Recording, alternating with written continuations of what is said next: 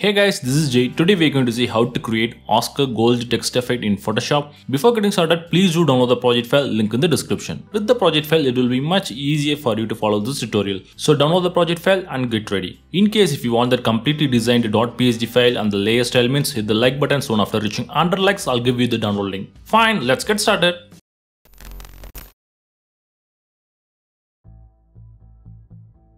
First go to the project file, open the PSD file inside Photoshop. This one is a design ready file. I have given you the color palette, the colors we are going to use in this design. If you want, you can create your own canvas. Fine. Next, we are going to create a solid color background. For that, create a layer. Go to color picker, sample and select black color. Now fill the color. I used the keyboard shortcut Alt backspace. Next, we are going to type in our text. For that, select the text group, create layer, go to color picker, sample and select white color. Now pick the text tool. The font I'm using is a free font. I'll give link in the description. I'll keep size as 245 points and I'll type in my text. Fine, I'll place it at the center here. Next, we're going to add our gold effect. For that, right click the layer, go to blending option, select gradient overlay. There I'm going to keep the blending mode as normal, opacity as 100. Now click the gradient bar, select the first gradient option on the left side I'm going to choose new color, sample and select this bright yellow color from the color palette. Click OK. Next on right side, I'm going to change the color. I'm going with this kind of faded yellow color, this one. Click OK. Now I'm going to change the style to reflected. I'll keep the angle as 90, scale as 100. Fine. Next, enable bevel and emboss. There I'll keep the style as inner bevel, technique as chisel hard. In shading I'm going to keep the angle as 120, I'll keep the angle as 30. In the gloss contour option I'm going to select double ring option, this one. Next I'll enable the anti-alias option. Fine.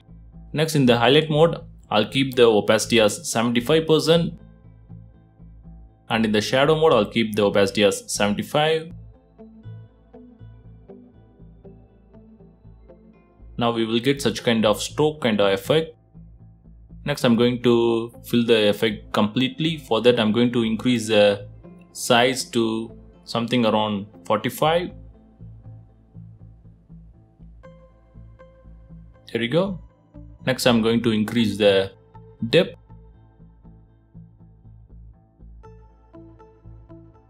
I'm going with 170 here. Fine. Next we're going to add inner shadow. I'll keep the blending mode as multiply. Next I'll keep the opacity as 50. I'm now going to add noise. In the color option I'm going to sample and select this orange color. And in elements I'm going to keep the size as 70 now I'm not going to disturb other settings. Now click OK. There you go. We got our gold text effect. Next I'm going to create a duplicate copy of this text layer by using keyboard shortcut Ctrl J. I'll move the text above. Now I'll change the size to 75 points I'll edit the text. I'll place it at the center. Fine. Next we're going to add line shape. For that go to the design group, create a layer. Now go to color picker, sample and select white color. Now pick the line tool. Make sure fill is enabled, stroke is disabled. I'll keep the weight as 5 pixels. Now by holding shift key create a perfect line shape like so. Now we're going to add same gold effect to this line shape. For that, go to the text group, select any layer, text layer, right click and copy the layer style. Now select the line shape layer, right click, paste the layer style. There you go. Now I'll create a duplicate copy using keyboard shortcut Ctrl J. Move it to right side Adjust the spacings using your keyboard arrow keys. Once you're done, next we're going to create another line at the bottom here. For that, create a layer, pick the line tool. With same settings, I'm going to create another line shape by holding shift key in your keyboard. Now adjust the spacings using your keyboard arrow keys. Next we're going to repeat the same step, right click, paste the layer style. Fine, now we are almost done. Next we are going to drop in our stock image. Before that I'll disable the color palette. I'll move the text and line shape to right side a little bit. Fine. Next we are going to drop in our Oscar statue stock image. For that go to the project file, open the image inside Photoshop. Drag and drop the image inside our canvas. I'll place it inside image group now enable free transform tool control T and resize it. I'll place it on left side here. Fine. Next we're going to drop in another stock image. Further go to the project file, open the bokeh stock image inside Photoshop. Now drag and drop the image inside our canvas. Make sure to place it inside effects folder, this one now enable free transform tool, right click and rotate it 90 degree counterclockwise. Now reduce the size a little bit.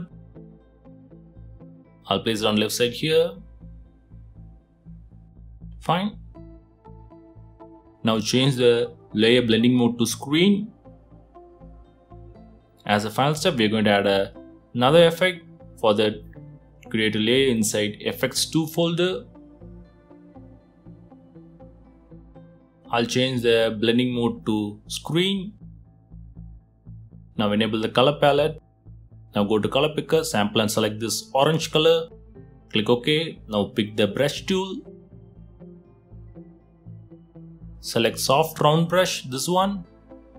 I'll keep the flow as 40%. Now I'll give a single click at the bottom here.